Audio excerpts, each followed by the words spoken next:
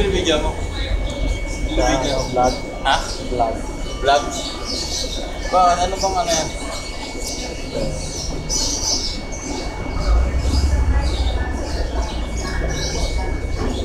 Tapos ba value niya? Malaki yan? Ha? Mataas din value niya? Ano mas mahal? Flower horn o yan? Flower horn.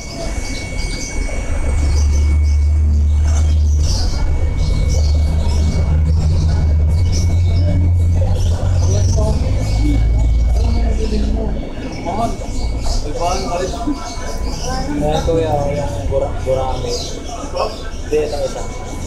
Mahaba buhay niyan, 3 years. 3 years yan? Kahit di nyo na ano, pakainin, basta may Hmm. siya.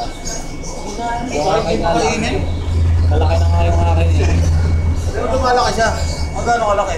Mga ano, 5 to 9, ay 5 inches. 5.9. Wow, kakainin lang